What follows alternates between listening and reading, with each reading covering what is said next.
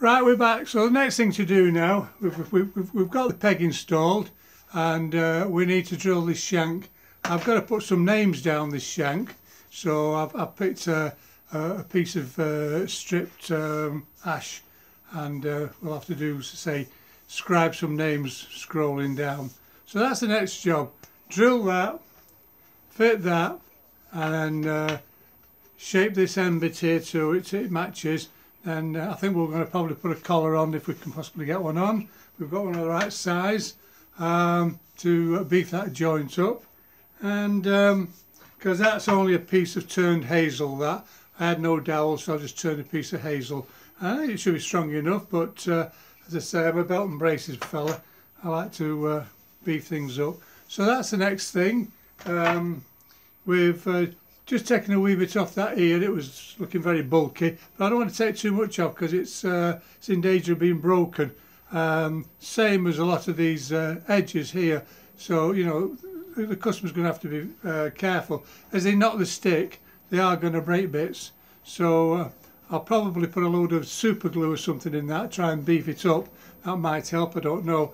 We did that with the tongue we, we super glued the, the, the tongue, well we didn't super glue it in, but we saturated the wood with super glue just to try and make it a little bit harder and a bit more resistant to, to being knocked. Um, so uh, there we go. So the eye sockets have been drilled. Um, we've got some glass eyes ready for it. I'm not putting them in yet. And as I say, as we start getting all this um, together with the uh, the shank, um, we'll start thinking about colouring. So that's it for now, back soon.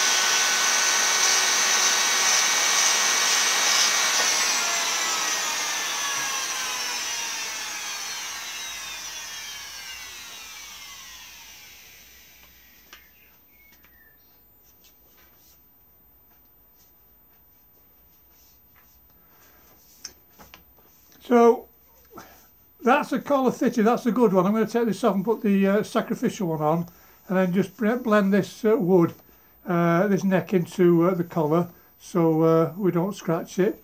And then uh, I think what we'll do then is probably a bit of sanding sealer and start getting it ready for putting the eyes in and doing a bit of painting.